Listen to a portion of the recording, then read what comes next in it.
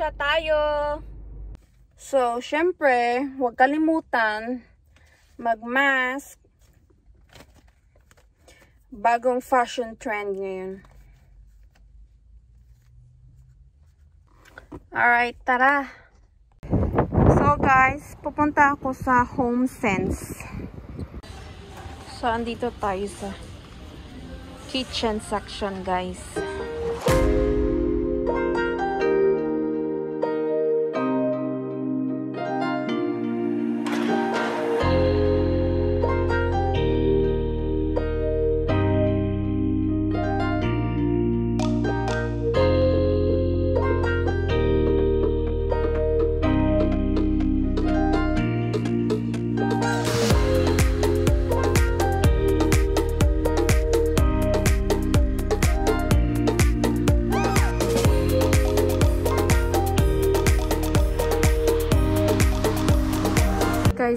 Andito ako sa Michaels. Hindi ako gaano nakapag-video sa HomeSense kasi ang daming tao. Guys, andito kami sa Coastal Marine. Bumili ako ng fishing rod kasi malapit ng catfishing dito.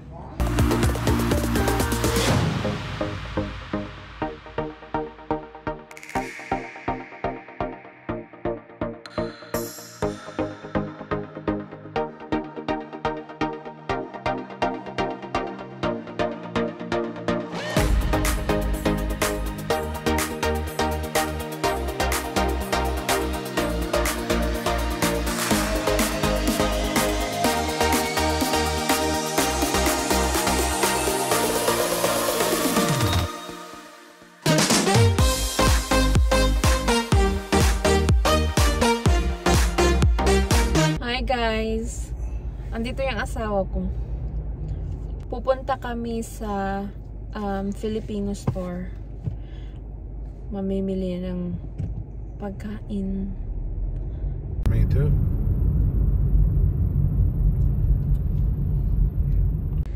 Hi guys! Andito kami sa McDonald's. Pumili yung asawa ko ng Sunday.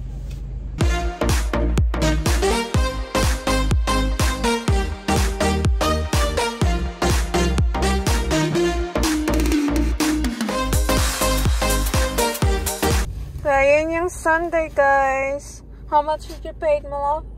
She's, I don't know, five something, almost six oh. dollars, I think. Almost $6, guys, Sunday.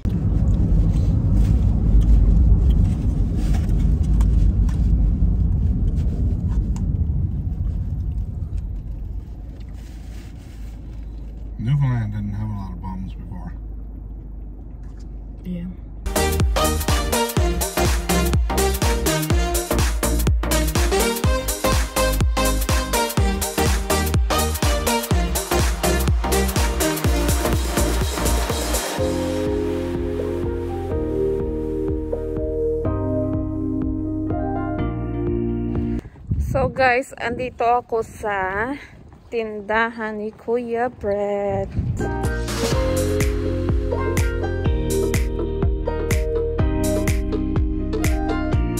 Ayan guys, pauwi na kami.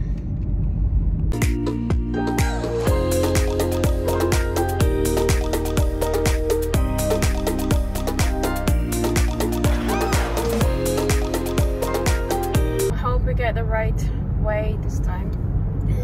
like 10 times, bro.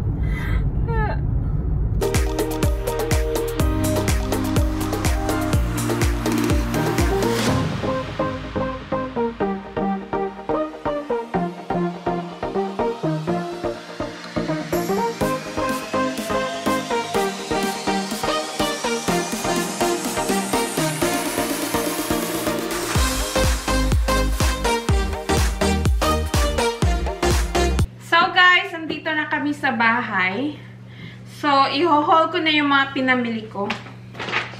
Hindi na ako nag-video sa loob ng, ano, ng Filipino store kasi hindi ko alam kung pwede mag-video doon or hindi.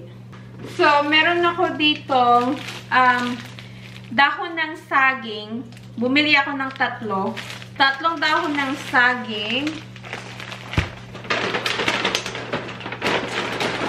Then, bumili ako ng makapuno string.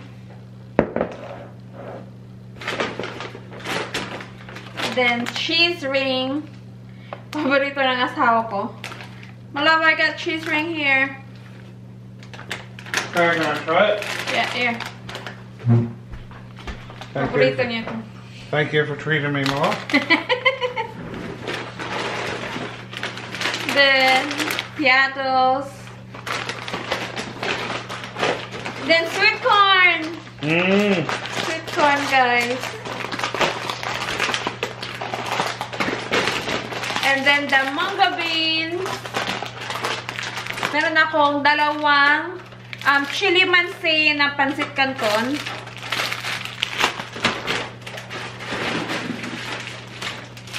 And then, dalawang sweet and spicy na pansit canton. Uh, lihiya, panggawa ng kutsinta. Hindi ko pa nasubukan pero try ko one day. And then guys, tingnan ninyo. Bisugo. Mmm. Mangangamoy isda na naman. And then meron ako ditong Indian mackerel. Ayan guys. Woo! Masarap to pang paksiw at saka sinabawang isda. And then, marinated na boneless milkfish or bangus. Paprito niya yan. And then, tilapia!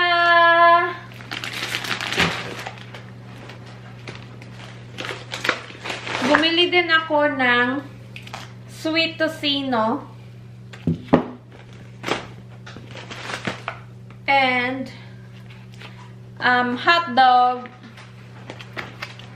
Ayan. Then, bumili ako ng tatlong dahon ng sili. Masarap to guys, pang tinola. Ayan. Dalawang spring roll wrapper. And then, dalawang grated cassava.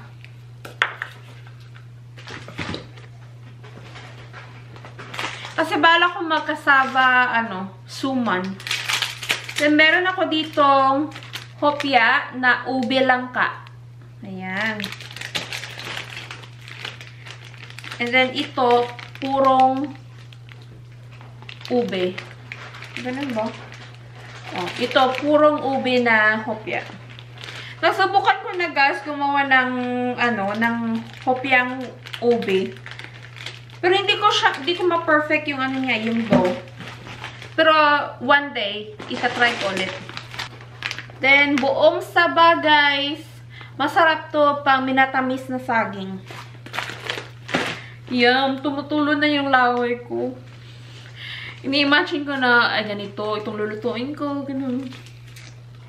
So, guys, ang nabayaran ko sa store is $103.78.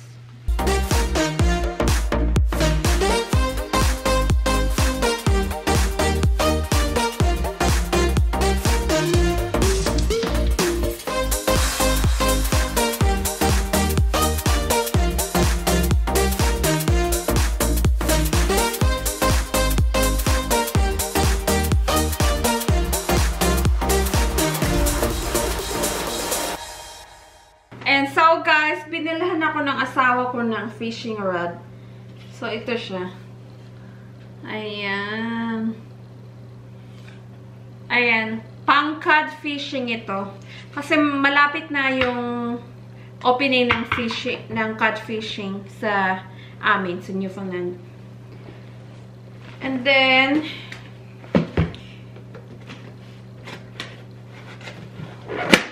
bumili kami ng ng reels, ng reel niya. Ayan. Then, bumili kami ng line. Ayan. And then, and then yung jig.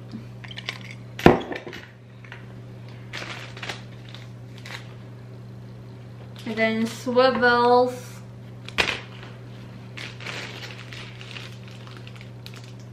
And then ito, um, ano ba yun? Ano ba to? Chalk plugs. Pang ano naman to, pang salmon fishing. So, ayan. So, guys, ipapakita sa inyo ng asawa ko kung paano, kung paano i-assemble ang fishing rod. So, ilalagay ko siya sa separate video anyway.